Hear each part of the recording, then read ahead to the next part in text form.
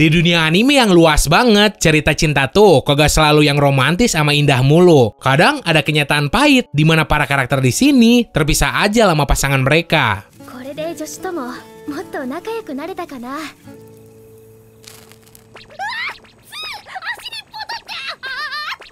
Ya, nai nai, yappari nai.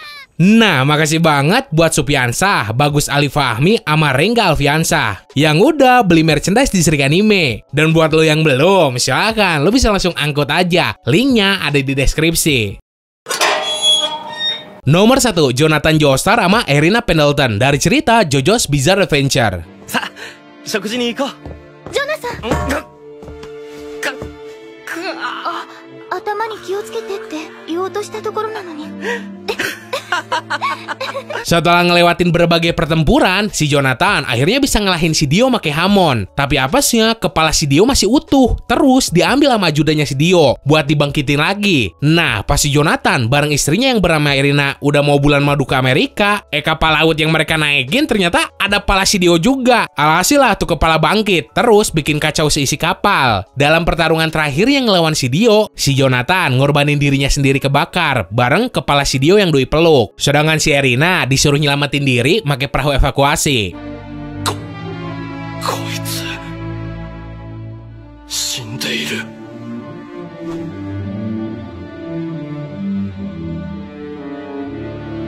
Nomor 2 Gin sama Hotaru Takegawa dari cerita Hotaru no Morie.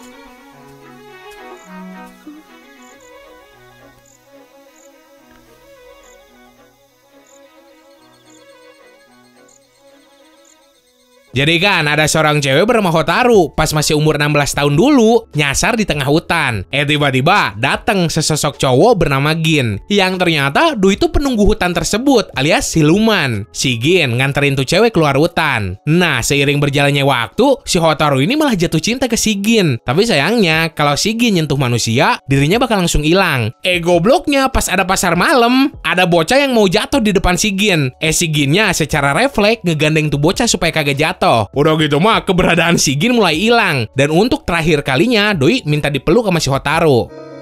Koi, Hotaru. Yatto mai ni furerareru.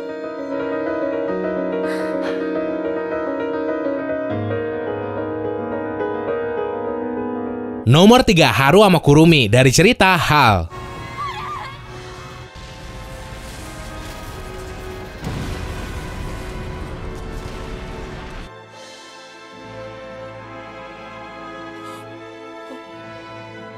Nyeritain tentang sepasang kekasih bernama Haru sama Kurumi. Tapi tragis, pesawat terbang yang lagi dinaikin si Kurumi malah meledak. Terus di sini posisinya si Haru ngerasa depresi banget, sampai lupa jati dirinya sendiri. Yang kemudian Doi nganggep dirinya tuh sebagai robot tiruan sosok bernama Haru doang. Nah, demi nyembuhin depresi sama traumanya si Haru, keluarga dari si Kurumi bikin robot tiruan yang wujudnya mirip tuh cewek. Supaya si Haru secara perlahan bisa nerima kenyataan. Biarpun sekarang posisinya malah kebalik. Si robot yang sandiwara jadi si Kurumi asli dan si Haru yang ngerasa dirinya tuh cuma robot doang. Kurumi.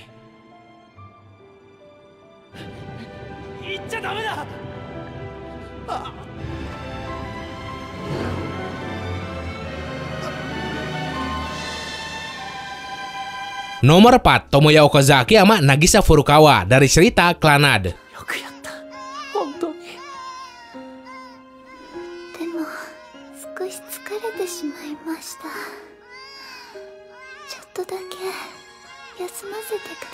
Sebenarnya dari awal cerita juga si Nagisa tuh udah dikasih lihat sering sakit-sakitan. Bahkan tuh cewek sampai kudu tinggal kelas. Nah, pada suatu ketika Doi ketemu cowok bandel bernama Tomoya dan dari sini tumbuh perasaan cinta di antara mereka. Bahkan sampai mereka nikah. Tragisnya sesaat setelah si Nagisa ngelahirin anak pertamanya, kesehatan si Nagisa langsung drop banget sampai akhirnya meninggal.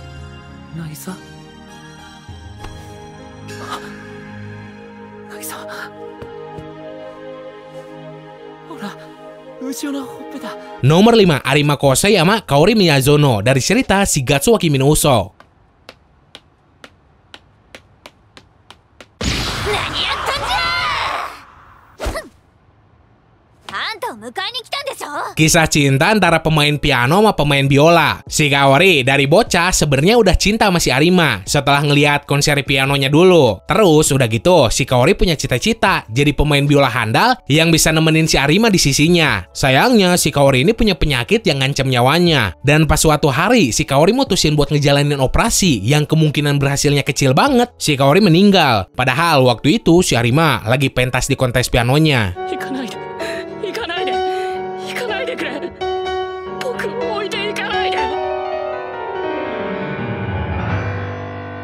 Nomor 6, Asuma Sarutobi sama Kurena Yuhi dari cerita Naruto. Anata wa ii wa yo ne. Style wa ii shi bijin da shi. Chotto nomi sugi yo. De, do nanu? Eh? Asuma-san no koto yo.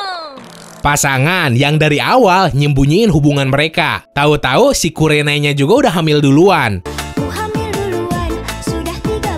Nah, dulu pas timnya si Asuma dikasih misi buat ngeburu dua orang anggota Akatsuki yang bernama Hidan sama Kakuzu, si Asuma kena santet dari jurusnya si Hidan. Dan setelah si Hidan nusuk jantungnya sendiri, efek itu dirasain si Asuma juga, yang udah pasti bikin dirinya tutup usia di saat itu juga. Ngewarisin tekadnya ke si Shikamaru.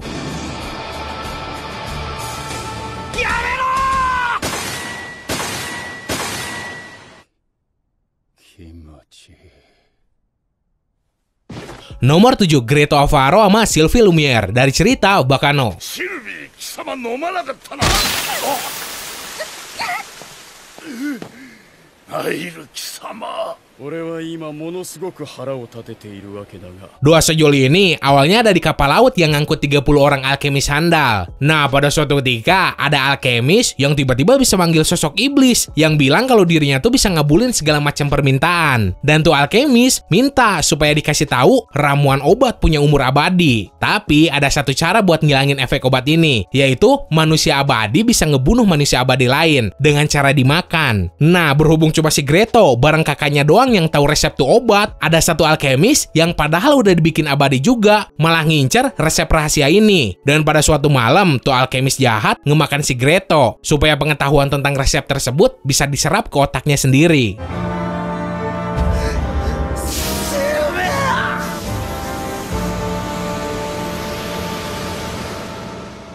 Nomor 8, Mine sama Tatsumi dari cerita Akame ga Kill. 正義なきお前たちに勝てるはずがない。でかい的ね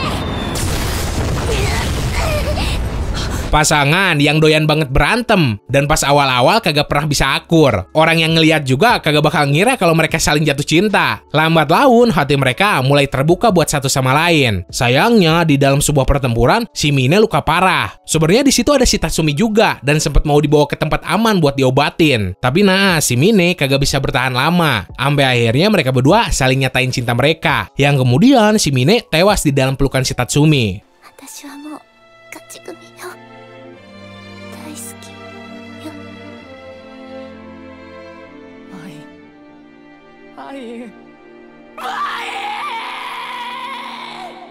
Nomor 9 Takegawa Yoshino sama Fua Aika dari cerita Jetsue no Tempest.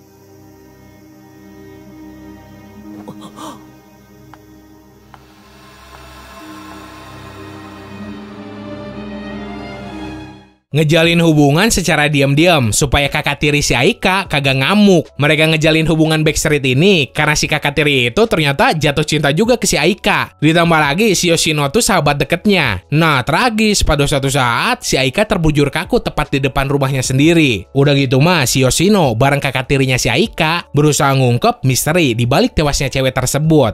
ある日一人の少女が唐突に殺された Nomor 10 Kiro sama Scarlet dari cerita One Piece.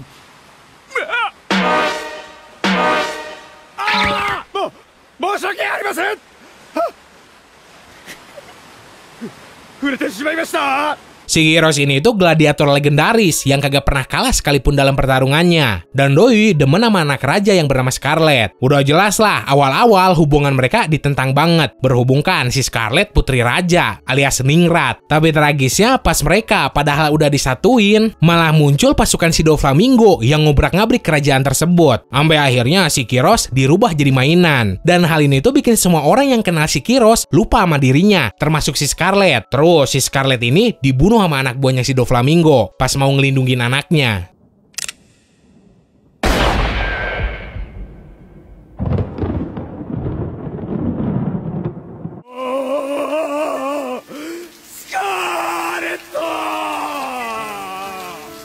Oke, segitu aja buat hari ini. Seandainya lu pengen nambahin, silahkan. Lu bisa langsung tulis aja di kolom komentar. Terus, kalau lu pengen request, jangan lupa pakai tulisan awal kata request. Biar nanti gue juga gampang nyari komenan lu nya. Dan buat lo yang belum subscribe ke Distrik Anime, silahkan. Lu bisa langsung tampar aja tombol subsnya. Karena kalau gitu kan, gue juga jadi makin semangat bikin videonya. So, semoga lu enjoy dan bisa nambah informasi lu seputar dunia anime. Sekian dari gua, sorry kalau salah-salah kata.